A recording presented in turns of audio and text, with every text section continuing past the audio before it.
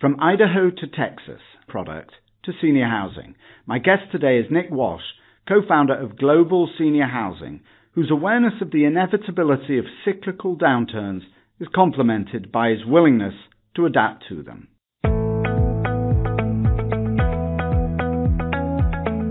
Welcome to the National Real Estate Forum podcast, episode 217.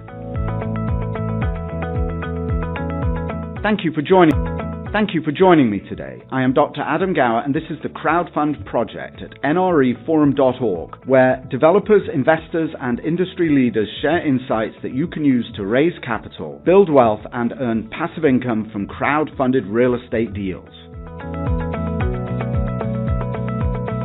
How can you invest in real estate without ever actually having to buy a building or a piece of land? This is not a trick question because the answer is, of course, that you can invest in a crowd fund real estate deal and completely avoid all of the brain damage of actually having to develop a project yourself. Real estate is incredibly competitive. Finding good opportunities requires combing through hundreds of deals before finding the right ones, and then competing tooth and nail with seasoned professionals to get ahead of them to win the deal. It requires years of expertise, perseverance, and creativity in seeing opportunity where others do not see it.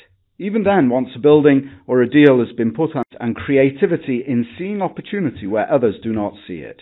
Even then, once a building or a deal has been put under contract to buy, there is an arduous time restrained period during which the developer has to underwrite the risks by conducting thorough due diligence. Once that is done and the project purchased, then the real work starts the development or renovation process itself. As an investor, the opportunity that crowdfund real estate investing offers is that all you need to do is to select from the best of the best of the developers out there and invest with them. You don't have to search for the deals or conduct the due diligence, deal with local planning departments or manage contractors. You can cherry pick the best deals with the best sponsors so that all that is left for you to do is to double check their due diligence work product. It is real estate investing without any competition. It's a bit like picking the winner of a race after the race has already been run. Of course, there are huge risks, and even but you can manage that risk to some extent by being fully informed not only of the deal itself, but also in how to understand exactly what it is that you're looking at. Real estate, like any industry, is steeped in jargon, so I've put together a glossary of real estate crowdfunding terms in plain English for you, absolutely free. You can download a copy at the show notes page for today's episode at the National Real Estate Forum.org website at nreforum.org forward slash Nick, N-I-C-K. Feel free to let me know if there are any terms I've missed that you would like to see explained. In the second of my sponsor conversations, today I am pleased to introduce you to Nick Walsh, who is co-founder of Global Senior Housing. Nick discovered the challenges of how real estate cycles can impact even the best of developers during the last downturn. Deciding to engage in a type of development that had greater resilience to the ups and downs of the general market, he discovered a lack of supply in senior housing, but a lack of supply in senior housing, and has been developing in that space for the last few years. His strategy is to form strategic partnerships with regional operators to manage the marketing, lease up, and operations, while he and his father handle finance, and construction management. Be sure to check out the show notes for today's episode at nreforum.org forward slash Nick for links to the company website, a transcript to today's episode, and of course, access to the staggeringly fabulous glossary of crowdfund real estate terms that I've put together for you. I'm a co owner of Global Senior Housing. We develop senior living projects in the uh, western states.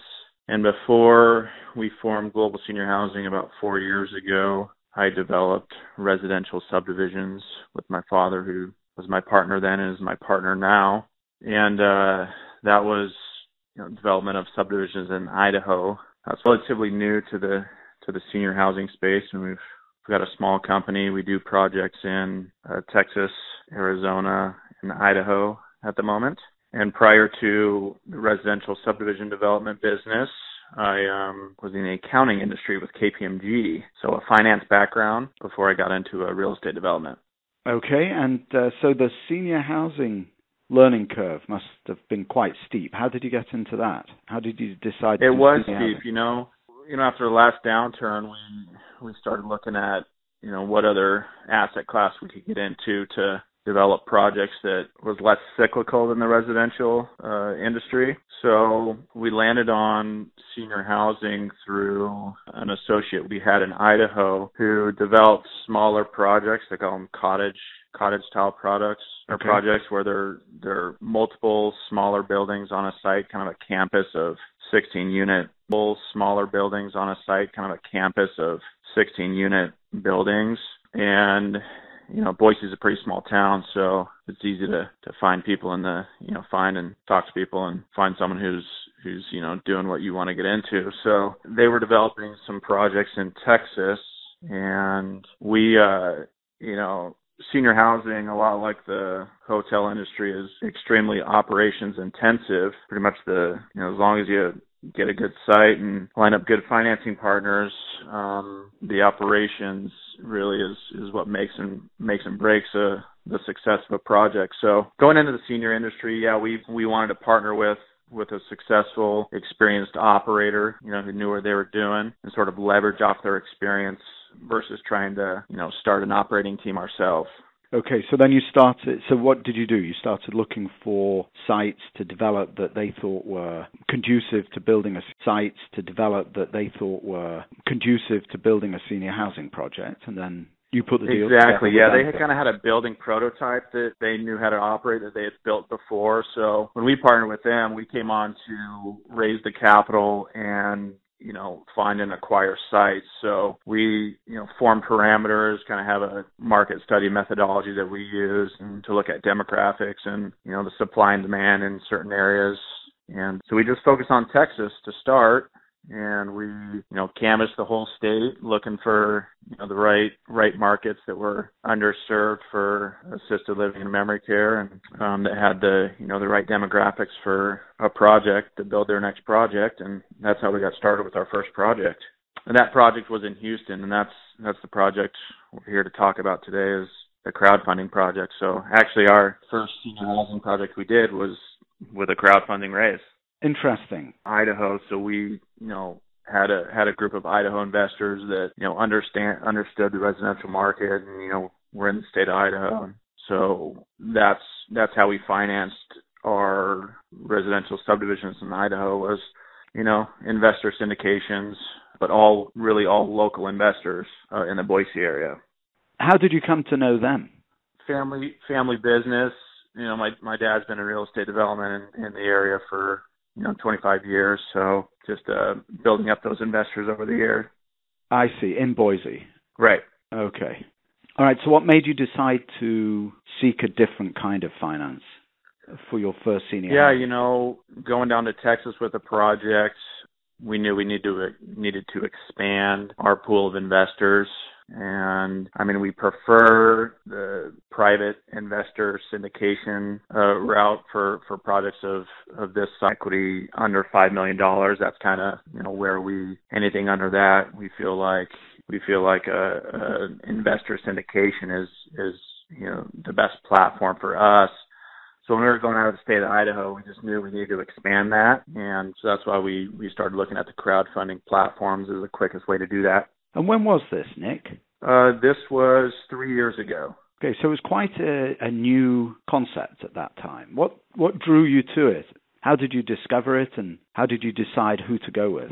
You know, we discovered it through when I was when I was talking to a few, you know, at, at some real estate conferences. I had talked to a few real estate attorneys who you know, we're starting to put together PPM work, you know, do PPM work for, you know, this this infamous, you know, Reg D and and the uh that was right about the time that the Jobs Act was D and and the uh that was right about the time that the Jobs Act was getting approved and they were formulating the rules for that. So there's just a lot of buzz in the industry about this, you know, this crowdfunding as a as a way to raise money. Okay, and then you had to figure out which platform you were going to go with. What was the process for discovering what platforms were out there and which might be appropriate for you? Right. Well, you know, there, there's a ton of them, and and even back then there was there was probably 20 or 30 companies um, out there that I, I researched and and I, I really started with who who does ground up development. You know, a lot of these companies were in their their infancy, so I really wanted to dial in who who was raising money for ground up development projects versus companies that just raise money for you know existing stabilized assets or even reposition you know assets. So um or even reposition you know assets. So um that really you know took the number from from 30 down to maybe a handful at that point and then what about senior housing presumably that narrowed it down a bit as well it did. It did. I, I definitely, I definitely looked at each platform and who had raised, done a successful raise on a senior housing, housing successful raise on a senior housing housing project before. And that's kind of how I, how I landed on, um, on the the platform, the company that we ended up partnering with, which is CrowdStreet, and they had just completed a, a successful raise for a larger skilled nursing developer who, um, I forget the amount but I think it was over two million dollars. Um, it wasn't the entire the entire equity raise for that for that company, but they used it to um, you know they used it to complement the rest of the equity they were raising. So and I I just read about that in a senior housing publication that this company had a had a successful raise on CrowdStreet, and so that prompted me to to call them. So now, what was their reaction to you having not done a senior housing deal before? How did you persuade them that this was a viable deal? Right, and yeah, that was that was a you know that was a discussion, and and that's kind of where our, our joint venture with our operator partner comes into play is leverage off of their experience in the industry. And um, you know, as far as our role in the in the joint venture, um, a lot of it's on the you know land development and construction side. And at that point in time, uh, we'd already had the project entitled. You know, so we're raising equity for an entitled project, and really our you know role for the rest of the project is to uh, manage the financing and and manage the construction of the building and rely on our operators um, you know resume which really helps you know with our approval with CrowdStreet but also with the, the equity raise to, with the investors. All right, so walk me through the process from when you called CrowdStreet and said, "Hello, I'm Nick." and I want to do a senior housing deal in Texas to when you started to receive mm-hmm. funds from investors? Right. Well, I, I approached CrowdStreet with actually a different project, and they they turned it down because the market was a tertiary market in Texas, and that allowed me to bring another project. And really, the reason was, it was yeah, it wasn't as a, in a major metro, and at the time that we did the raise, that's really what investors were looking for. Most investors were looking for, you know, a city that that they knew that they felt comfortable in. You know, there was in a major metro, so I was able to bring bring back this project in Houston that met you know met the criteria. Okay, so you brought a second deal to them, and now you know that it's more aligned with their underwriting requirements, presumably. How did they articulate their requirements to you? In what way? How detailed were they? You know, it, the underwriting requirements they they looked at, of course, the the sponsor group, who the you know operator was and who the developer was and you know what the you know we had a third party market study that you know justified the demand in the market for the building that we were going to build. But beyond that it that's one thing we we liked about CrowdStreet is they you know looked at the deal. Thing we we liked about CrowdStreet is they you know looked at the deal structure and sort of didn't really mandate a deal structure like like some platforms do, but uh, they guided us through what would be successful because you know we're putting up the fees, you know, for the raise whether we're successful or not, and they don't want you know they don't want to blemish you know a bad raise, a raise that's unsuccessful. So they were able to really work with us on how to structure the deal so that it would be successful once it got on the platform. Don't forget to pick up your free plain English glossary of crowdfund real estate terms by going to the show notes for today's episode at the National Real Estate Forum.org website, nreforum.org forward slash Nick, and let me know what you think. You can also find a transcript for today's episode at the bottom of that page. So they charge a an upfront fee to do the page. So they charge a an upfront fee to do the raise, do they? Is that how it works? Right. They charge an upfront fee and then really just an annual call it a maintenance fee for their platform, which is on our website, you know, on our investors link. So we actually have a their white label software um, incorporated into our website where the investors go in and log in. So so from the investor's perspective, they're dealing directly with you and not with CrowdStreet.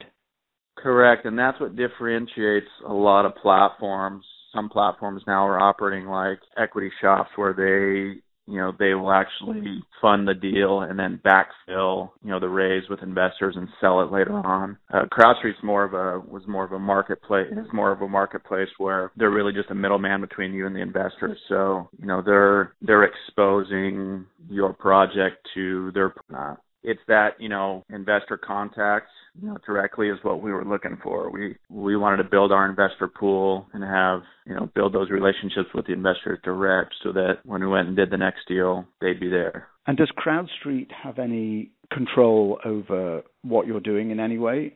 You know, they check in with us.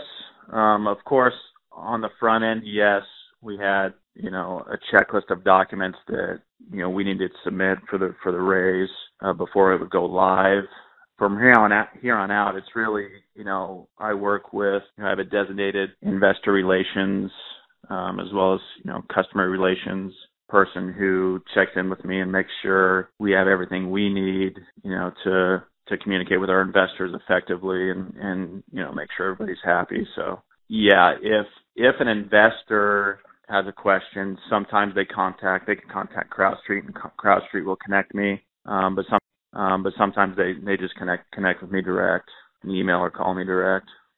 In your in your operating agreement, are there any rights that CrowdStreet retains in the event that you don't meet pro forma no. or you're on time or nothing? No no controls no. like that at all. No, CrowdStreet's sim- simply a, a middleman marketplace that gets paid a fee to broadcast broadcast your project out to their investor network. So your operating agreement was one that you generated and then put it out to investors on a kind of take it or leave it basis. Correct. Exactly. We had a we had an operating agreement inside a, a private placement memorandum and with a you know subscription agreement and when it came time to invest, it was between the investor and ourselves, you know, in our, in our project. So they were investing directly in the project. Was there much negotiation on that, or even attempts at negotiation on that, or even attempts at negotiation on that on the part of investors? Or yeah, you know, some some investors would. Some investors would, you know, say, "Hey, I'd I'd like this deal if you had, you know, a, higher preferred return, or I'd like this deal if you know you were putting in more sponsor equity." You know, every you know, some of the investors would say that and then would still invest. Some of them would would you know go in a different direction. But yeah, I think they kind of they all understand that at this point, once a once a project gets to gets to that level, gets posted on the marketplace, that it's really a, a take it or leave it proposition. All right. So tell me how much money you raised and how did how did that process go? You went you went live one day, and then what happened? Yeah, we went live. Um, we completed the raise in about 75 days to the you know last dollar was deposited into escrow from deposited into escrow from when we placed the project on the marketplace. 75 day cycle we raised 1.2 million and we had about another another 300,000 in sponsor equity that we were placing into the project. Okay. And of that 1.2 that was comprised of 44 investors. And the range of investments? Range of investments when we were that's one thing that CrowdStreet helped us with. We came in with a $50,000 minimum. They said, I think you're going to have a lot more success with this project if you reduce it to a $25,000 minimum. Mm-hmm. So yeah, we had more investors, but you know, some of those investors came in at the $25,000 level. So it went anywhere from 25,000 to 100,000. And what was the geographical distribution of those investors? And where did they come from? Were they primarily through CrowdStreet or did you do any marketing yourself? We did a little marketing on Did you do any marketing yourself? We did a little marketing on our you know on our own. Like I said, we had some investors in Idaho that wanted to get into the senior living space. So a few of them invested with us, but a majority of the investors came from CrowdStreet's marketplace. And geographically, we had, of course, many investors from Texas since the project was in Houston. But really it was it was across the board. I saw, you know, probably most most of the investors were from the West Coast or the western states. We had a few, you know, some investors from the Northeast, from the East Coast, but a majority were from the West Coast. And do you have any idea what kind of demographic your investors are? You know, demographics, I'm not sure. I mean, it was an it was a you know 100% accredited raise, so we had to vet out you know the accreditation of each investor. Yeah, CrowdStreet. Yeah, they they ran all the um they ran all the accreditation for the investors. Exactly. And I can tell you, you know, from the investors that I talked to, I would probably say I'd probably say half were real estate professionals who understand the you know have a background in the real estate industry who are you know just want to diversify into you know crowdfunding projects. Um the other half you know I I would say are you know other professionals you know families uh family trusts who you know maybe taking their money from from stocks and putting them into re, you know real estate through through crowdfunding.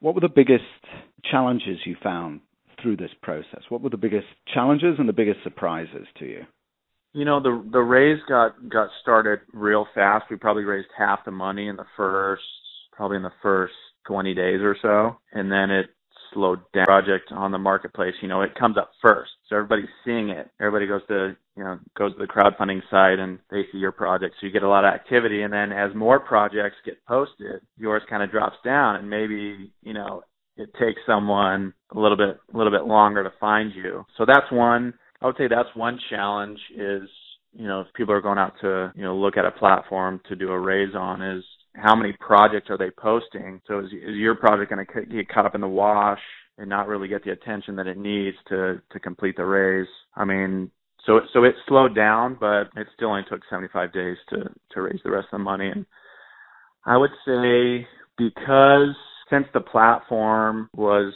investor to you know, sponsor direct. I mean, I I spent a lot of time on the phone with potential investors, a lot of time, you know, answering emails, you know, really spending time with with each potential investor, um, so they could vet out potential investor, um, so they could vet out the project.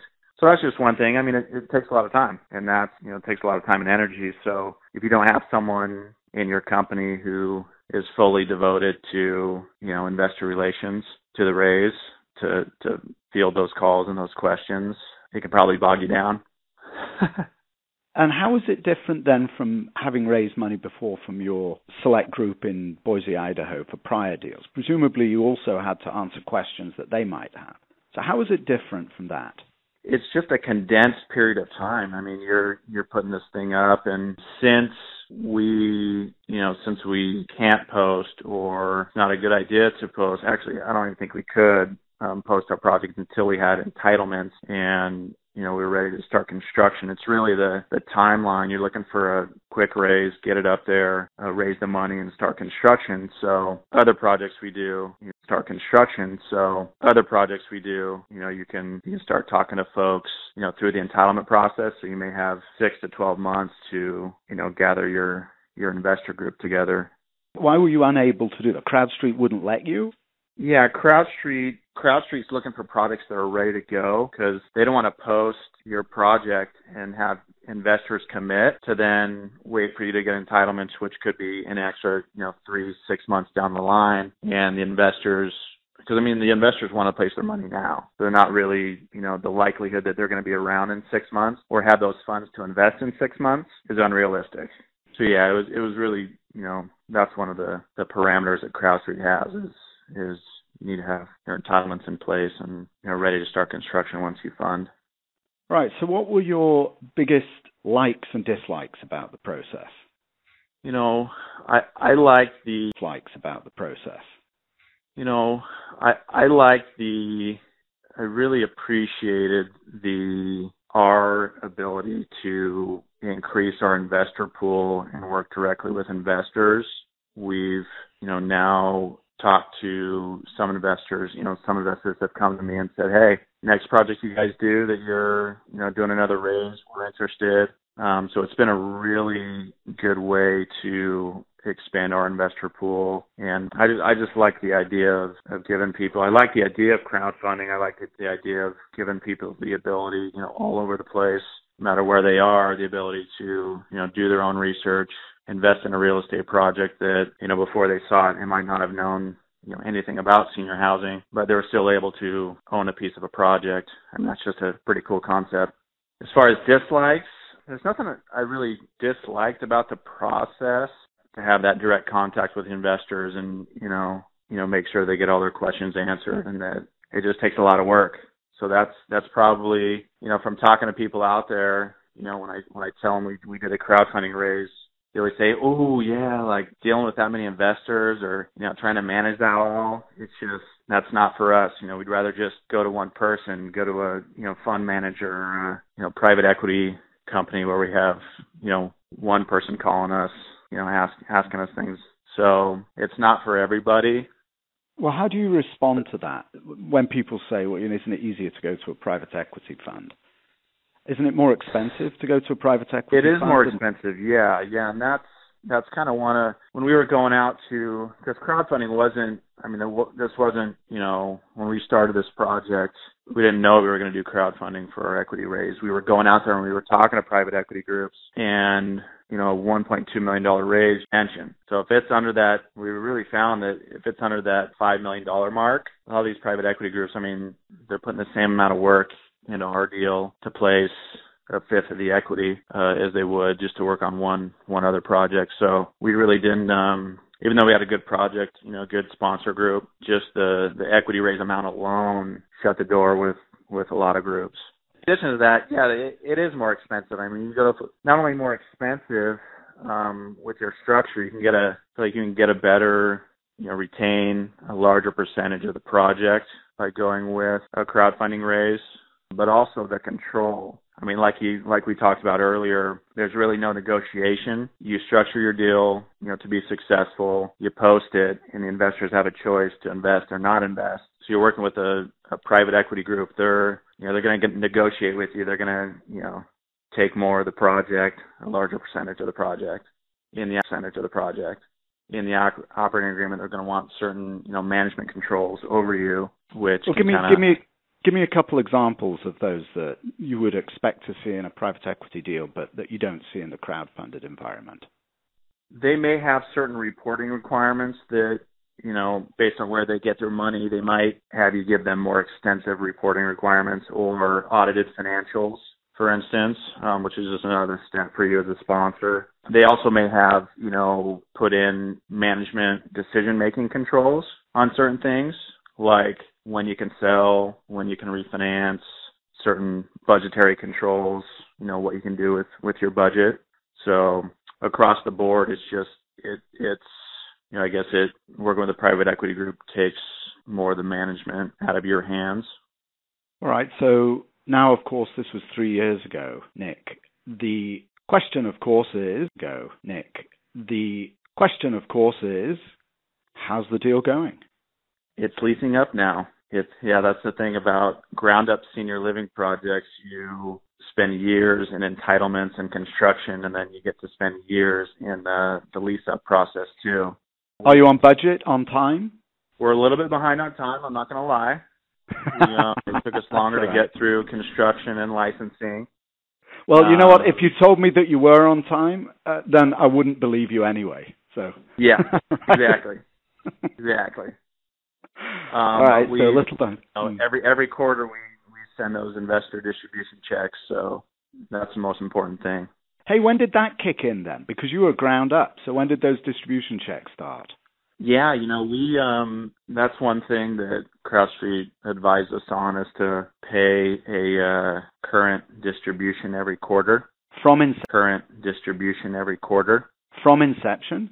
Yeah, we had to raise a little bit more money, and now we you know, we oh. um, give that that distribution every quarter back to the investors. Interesting. Okay.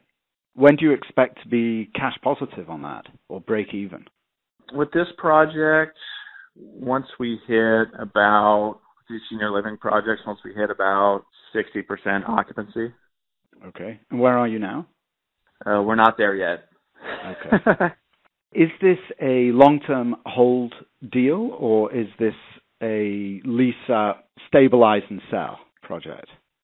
You know, our our strategy going into this, we really look at it uh, as a three-year recapitalization. We underwrote a five-year sale with a refinance in year three. Um, it was structured with a we went out and got a construction mini perm loan that went out went out three years. So we we we looked at it at you know we presented it as we're returning your equity with a refinance in three years or with a sale potentially in three years. But we're with this type of project, we're you know this cottage style pro- product. We're building them all over Texas. So the most advantageous sale situation would be a portfolio sale, you know, with eight smaller projects uh, versus just trying to go out and sell sell one off.